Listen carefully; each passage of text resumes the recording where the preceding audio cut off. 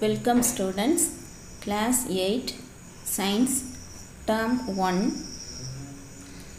unit two forces and pressure forces and ப்ரெஷரில் force atmospheric pressure இதில் நம்ம ரெண்டு வீடியோ பார்த்துட்டோம் இப்போ இன்றைக்கி வந்து நம்ம ஃபோர்ஸ் இன் லிக்யூட்ஸ் வந்து பார்க்க போகிறோம் ஃபோர்ஸ் இன் லிக்யூட்ஸு இதில் buoyant force of a liquid அப்படின்னா என்னன்னு பார்க்க போகிறோம் இப் இதுக்கு வந்து எக்ஸ்பெரிமெண்ட்டுக்கான வீடியோ ஒன்று போட்டிருக்கோம். அதை பார்த்துட்டு இங்கே வந்தீங்கன்னா உங்களுக்கு ஈஸியாக இருக்கும்.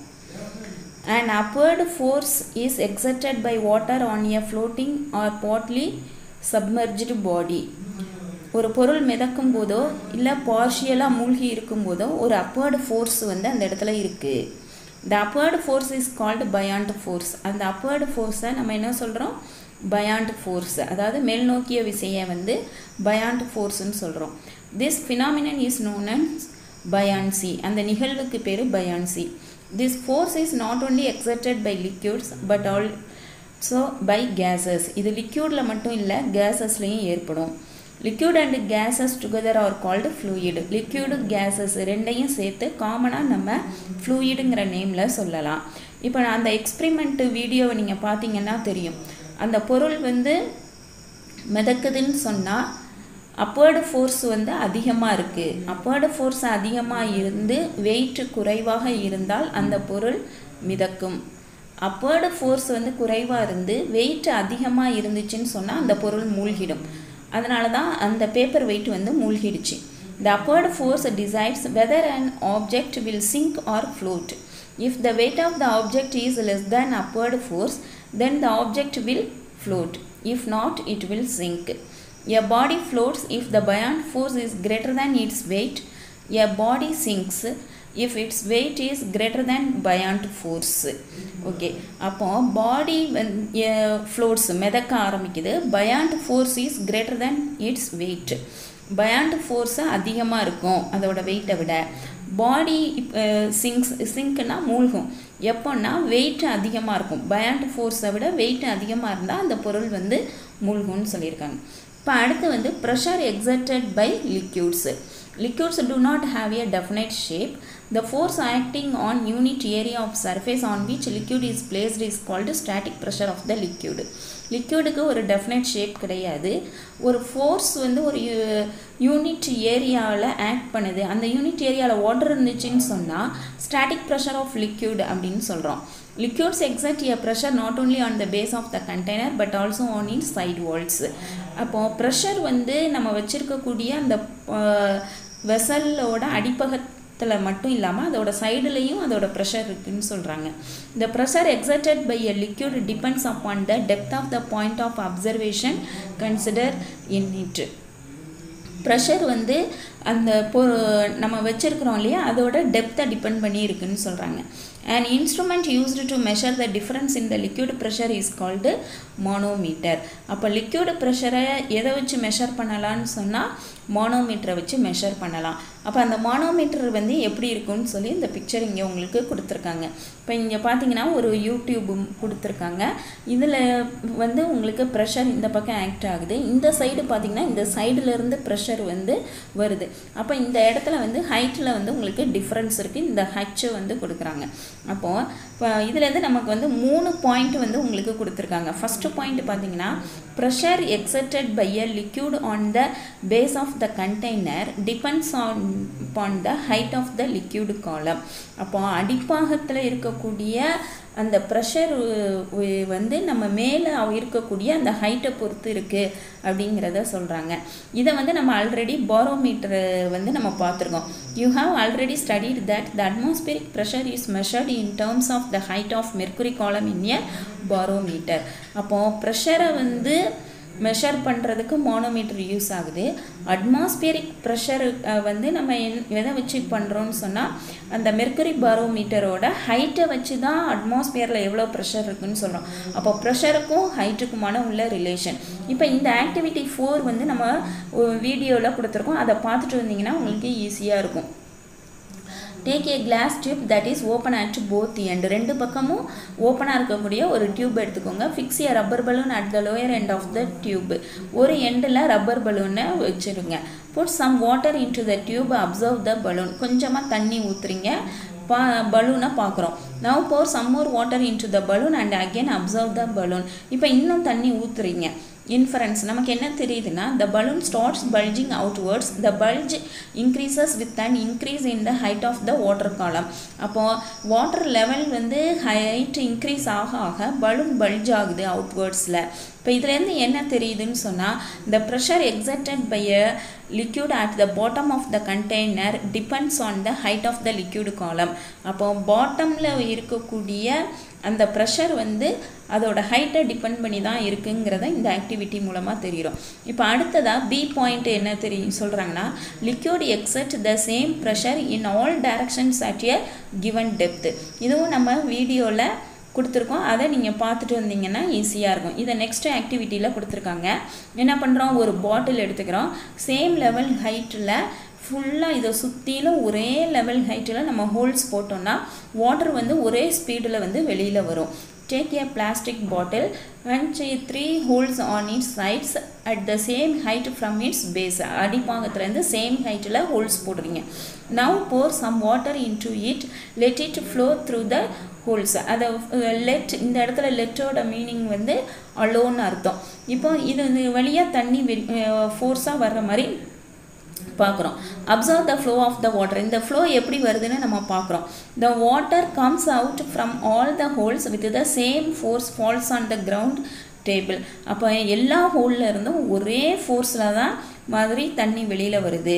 Okay at the same distance from the பாட்டில்னு சொல்கிறாங்க reason this activity confirms that liquid exert the same pressure in all direction at a given depth in the container அப்போ கீழேருந்து ஒரு பர்டிகுலர் டெப்த்தை எடுத்துக்கிட்டு அந்த அதை அந் எல்லா டைரக்ஷன்லேயும் ஒரே ஃபோர்ஸ் தான் இருக்கும். இப்போ கீழேருந்து இந்த அளவுக்கு டெப்த்து இங்கே இங்கே பார்த்தோன்னு சொன்னால் இங்கே ஹோல்ஸ் போட்டோன்னா இந்த இடத்துல இருக்கிற எல்லா டேரக்ஷன்லேயும் தண்ணி ஒரே ஃபோர்ஸில் வெளியில் வரும். ஓகே இப்போ நெக்ஸ்ட்டு வந்து சி பார்த்தீங்கன்னு சொன்னால் liquid pressure varies with depth depth variation இருக்க இருக்க லிக்யூடு ப்ரெஷரில் வேரியேஷன் இருக்கும்னு சொல்கிறாங்க இதுவும் நம்ம எக்ஸ்பிரிமெண்ட்டு செஞ்சுருக்கோம். அந்த வீடியோவை பார்த்தீங்கன்னா உங்களுக்கு புரியும். அப்போ வாட்டர் கேன் எடுத்துக்கிறோம். இதில் கீழே இருந்து வேரியஸ் டெப்த்தில் நம்ம ஹோல்ஸ் போடுறோம் த்ரீ ஹோல்ஸ் போடுறோம். அப்போ பார்த்தீங்கன்னா லாஸ்ட்டு ஹோலில் வாட்டர் எவ்வளோ தூரம் போகுது? இந்த ஃபஸ்ட்டு ஹோல் தண்ணி இங்கே இருக்குது மிடில் உள்ளது இங்கே இருக்குது அப்போ என்ன தெரியுதுன்னு சொன்னால் டெப்த்து கீழே இன்க்ரீஸ் ஆக ஆக டெப்த்து கீழே போக போக வாட்டர் ஃப்ளோ வந்து இன்க்ரீஸ் ஆகுது.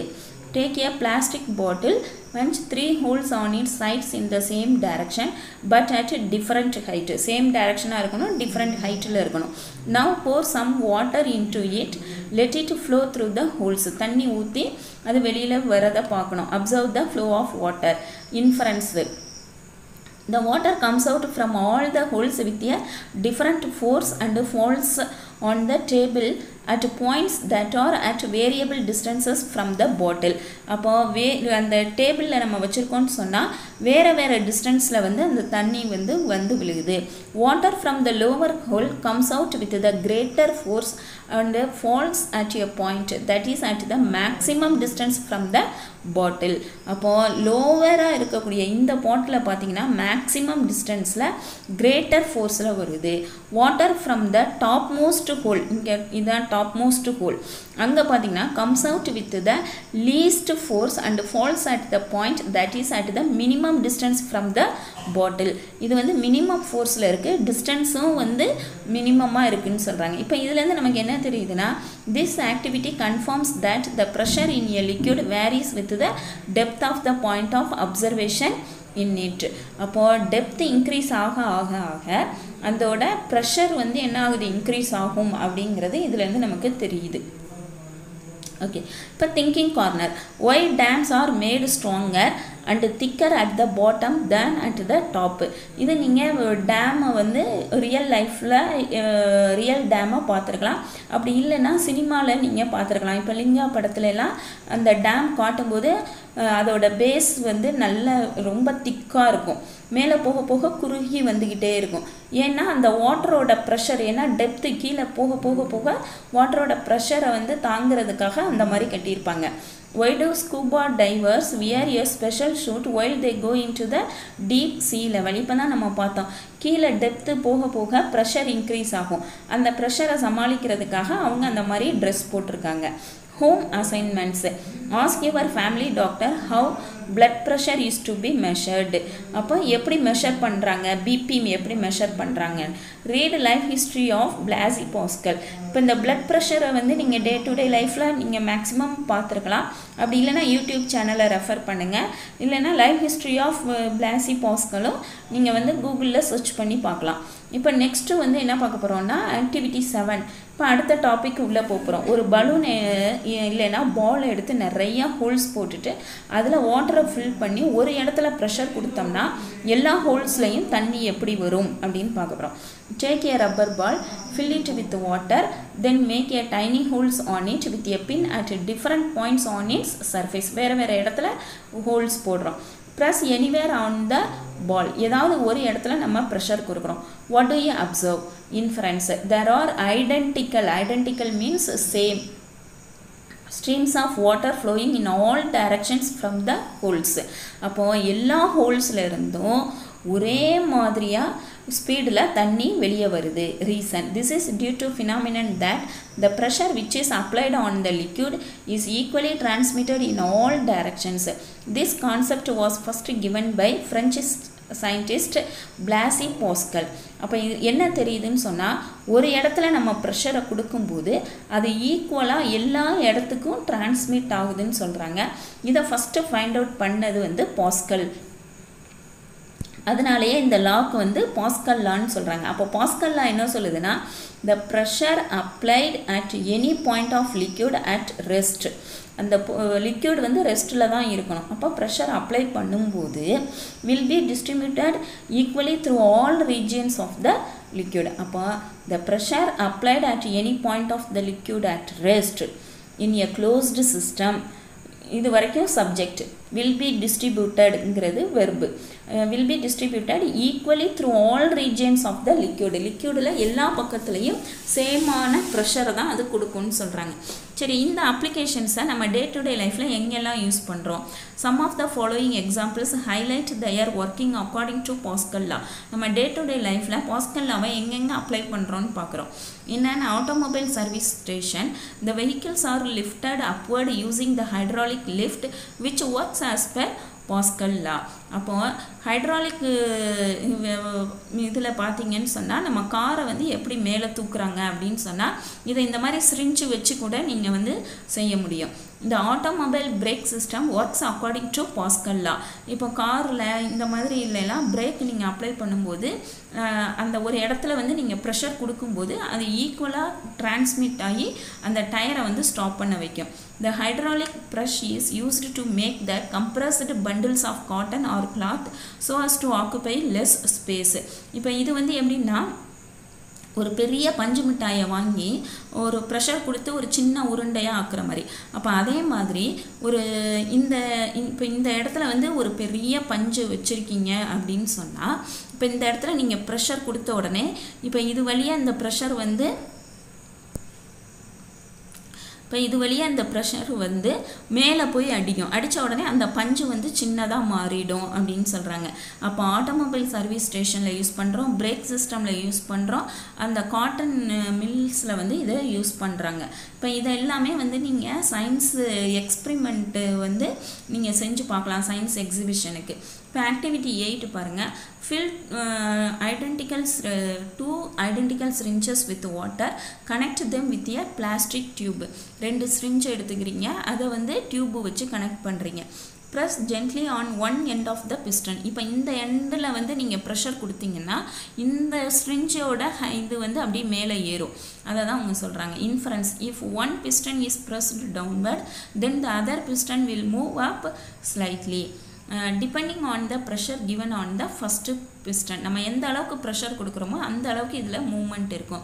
This activity confirms that the pressure exerted on a liquid at rest is transmitted equally to other portions of the liquid அப்போ அதுதான் பாஸ்கல் லா சொல்லுது.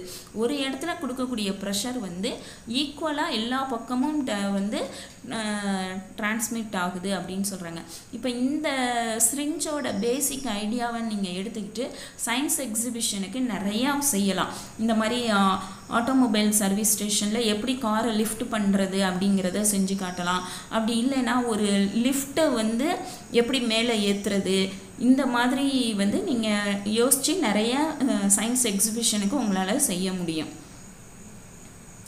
Thank you students